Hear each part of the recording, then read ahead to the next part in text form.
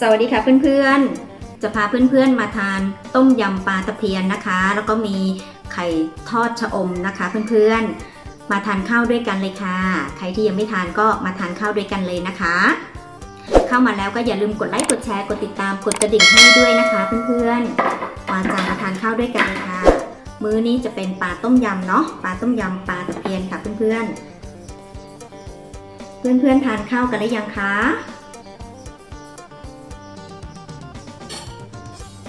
มาทานข้าวด้วยกันเลยนะคะเพื่อนๆ นี่เลยค่ะเพื่อนๆ น่าทานมากเลยนะคะ เห็นไหมเอ่ย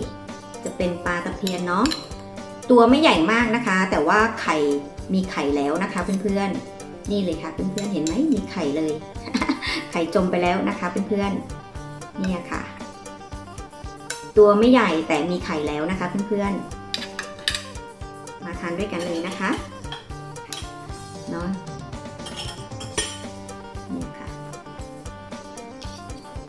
วันนี้ต้มสามตัวเนาะมาทานด้วยกันเพื่อน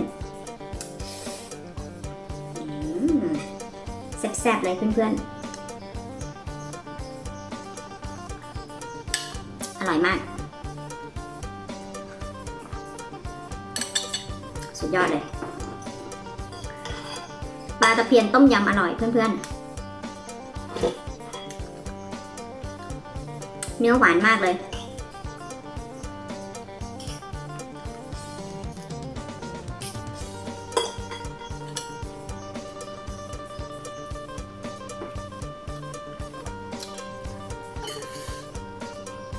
แต่กินปลาตะเพียนเพื่อนๆ ต้องระวังก้างนะคะ เยอะก้างเยอะแน่นอนค่ะ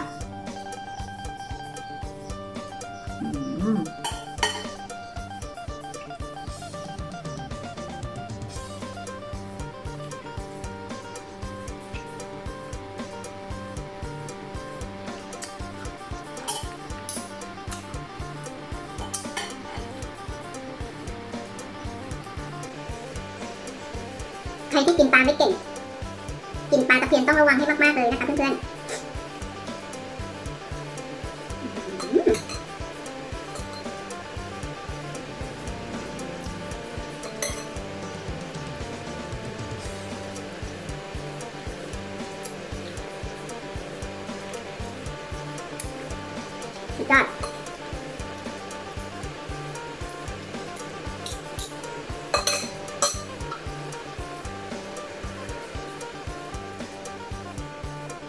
ทอดไข่ชะอมเมื่อเช้านี้ต้องทอดแบบแห้งๆเลยนะคะเพื่อนๆ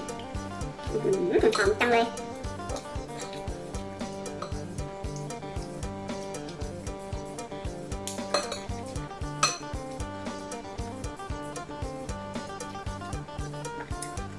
สุดๆเลยเพื่อนๆ ร้อนๆ ยังร้อนอยู่เลย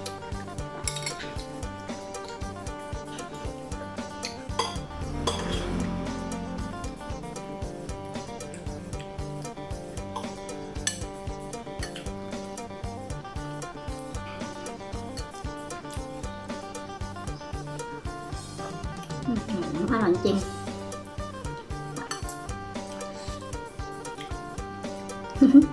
วักไข่กินก่อนไข่เยอะ เพื่อนๆดูสิ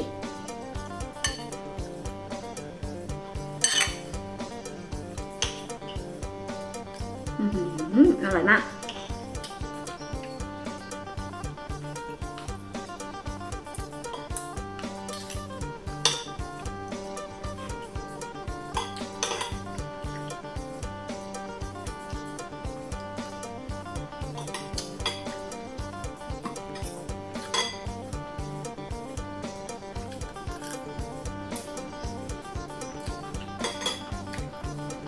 เวลาทำต้มยำนะคะเพื่อนๆ เครื่องปรุงนะคะ น้ำน้ำยำนะคะเพื่อนๆ แยกยำเลยดีกว่านะคะ อย่ายำในในหม้อเลยนะคะ เพราะว่ามะนาวเวลาต้มแล้วมันจะขมไม่อร่อย รสชาติจะเปลี่ยนไปเลยค่ะ ให้สังเกตเวลายังไม่ใส่มะนาวนะคะ มันรสชาติอร่อยมาก แต่ถ้าเราทำต้มแล้วใส่น้ำนาวลงไป รสชาติเปลี่ยนเลยไม่อร่อยค่ะ ต้องแยกยำค่ะ แยกเครื่องยำต่างหาก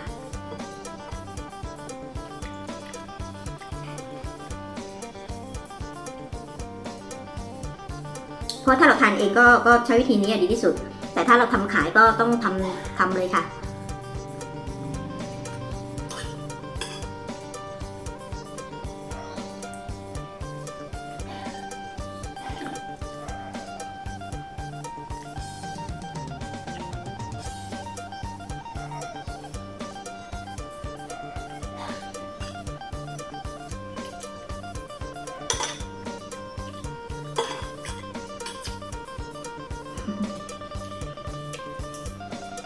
กินช้านิดหนึ่งนะคะ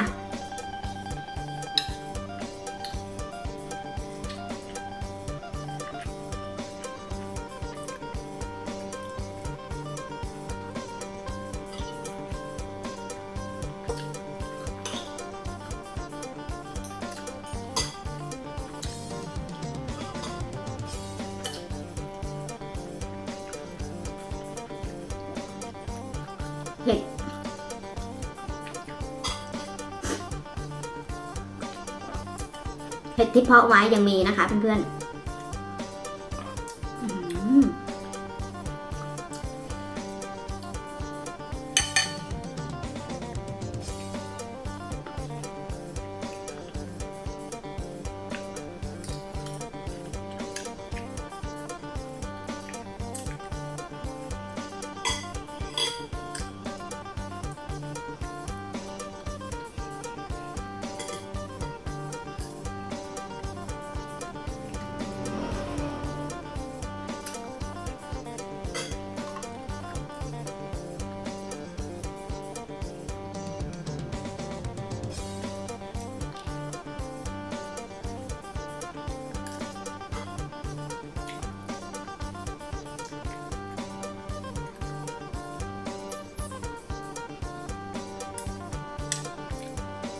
กระดูกเยอะมากเพื่อนๆใจเย็นๆนะคะ เวลากิน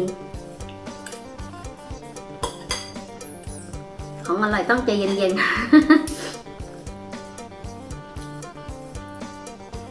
อย่ารีบกินนะคะ กินแล้วเดี๋ยวติดคอยุ่งเลยทีนี้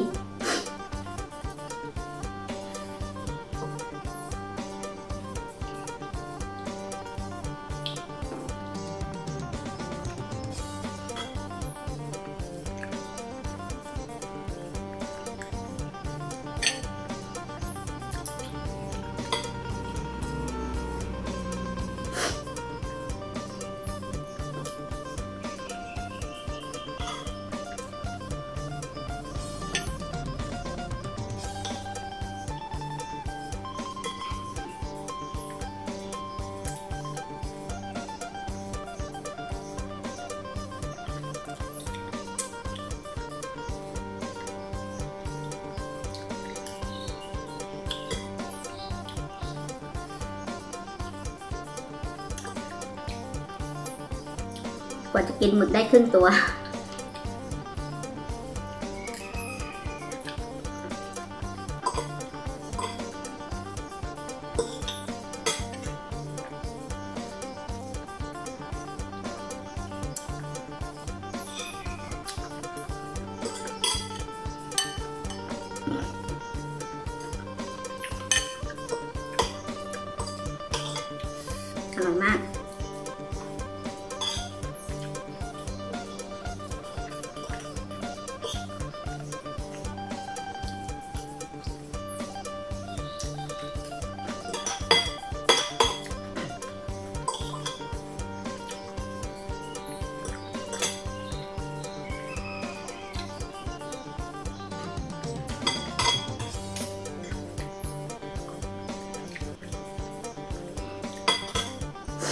ต้มยำใช้ปลาช่อนต้มยำไม่อร่อยนะ เนื้อไม่หวานนะ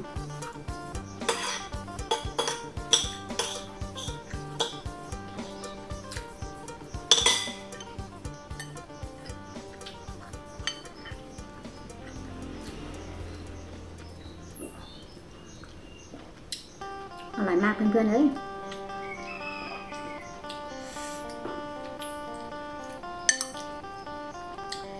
กินช่วงหัว ช่วงหัวนี่กระดูกน้อยหน่อยนะคะเพื่อนๆ นี่ค่ะ